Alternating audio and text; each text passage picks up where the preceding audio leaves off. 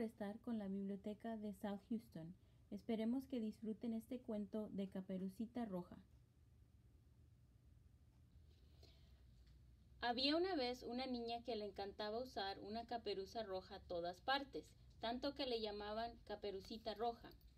Caperucita Roja quería tanto a su abuelita y le encantaba visitarla.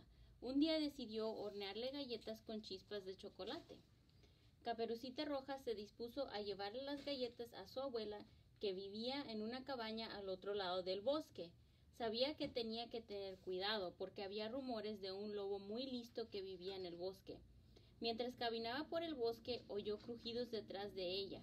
Cuando se volteó se encontró cara a cara con el lobo. Muy buenos días, Caperucita Roja. ¿A dónde vas tan temprano? preguntó el lobo. Voy camino a la casa de mi abuela, respondió Caperucita Roja. ¿Y qué tienes allí en tu canasta? preguntó el lobo. Tengo unas deliciosas galletas con chispas de chocolate para mi abuela, dijo Caperucita Roja. ¿Y dónde vive tu abuela, Caperucita Roja? preguntó el lobo. Justo al final del bosque. Llegaré a su cabaña en unos minutos, respondió Caperucita Roja. Bueno, entonces no te mantendré más tiempo. Diviértete en la casa de tu abuela, dijo el lobo. Caperucita Roja continuó en el camino a la casa de su abuela. Finalmente pudo ver la cabaña de su abuela al final del bosque. No puedo esperar a que abuela pruebe estas galletas, le encantarán, pensó Caperucita Roja. Cuando Caperucita Roja llegó a la casa de su abuela, se sorprendió al ver que la puerta estaba abierta. Tocó la puerta y dijo en voz alta Buenos días, abuela. Soy yo, Caperucita Roja, y te he traído unas deliciosas galletas con chispas de chocolate. Caperucita Roja entró en la cabaña y vio a su abuela en la cama. Caminando hacia su abuela, Caperucita Roja se detuvo. Acércate, acércate, mi nieta, dijo abuela con voz ronca. Caperucita Roja se acercó un poco.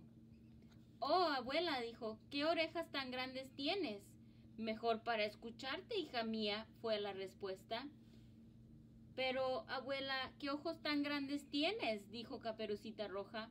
Para verte mejor, querida.